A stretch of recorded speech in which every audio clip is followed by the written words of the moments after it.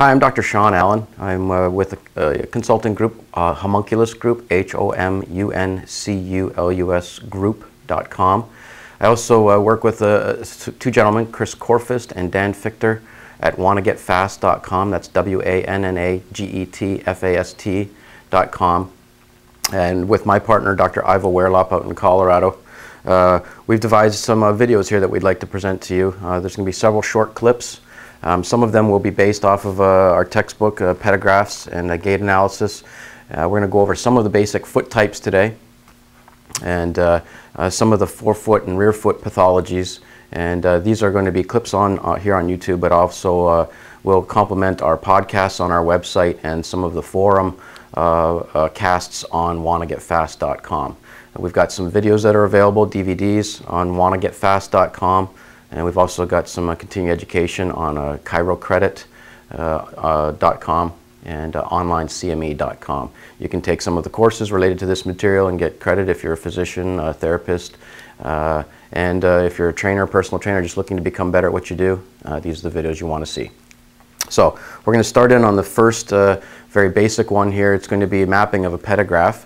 Um, we're going to come over here to the table and, uh, and look at a device called a, uh, uh, it's basically just a pedograph uh, mapper device. And uh, so this book that Dr. Ivo Waerlop and I put together, Pedographs and Gait Analysis, uh, it's got some clinical cases in here. It's going to teach you how to use this device, but we're going to give you a rough overview here.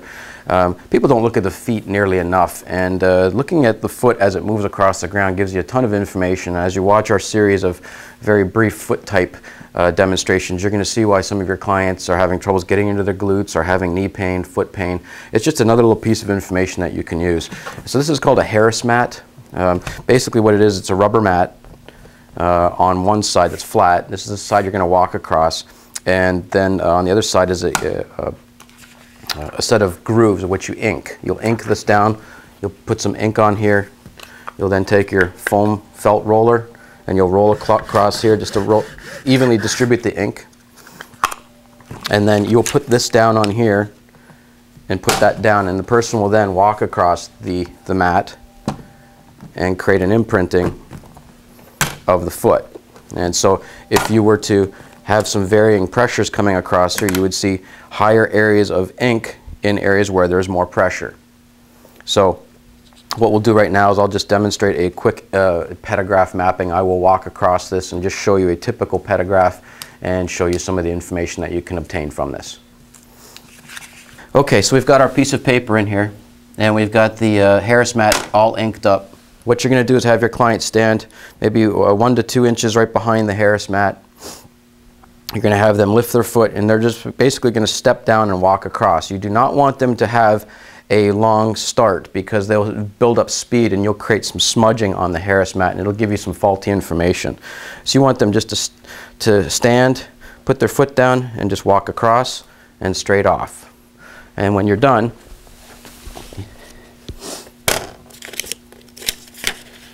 you want to zoom in, you'll see that there are some areas of higher um, mapping. You'll see uh, increased ink or heat, as we refer to it in our book, underneath the first big toe, which is what you want. Uh, these toes are pushing down a little bit and gripping. There's a hot spot on the heel. This is a pretty benign and non-specific pedograph. What you'd like to see is a little more increased ink here as the foot pressures come across. You'd like to see a little bit high on the outer heel where they hit first, coming across the foot and across the first ray and off of the big toe. Okay.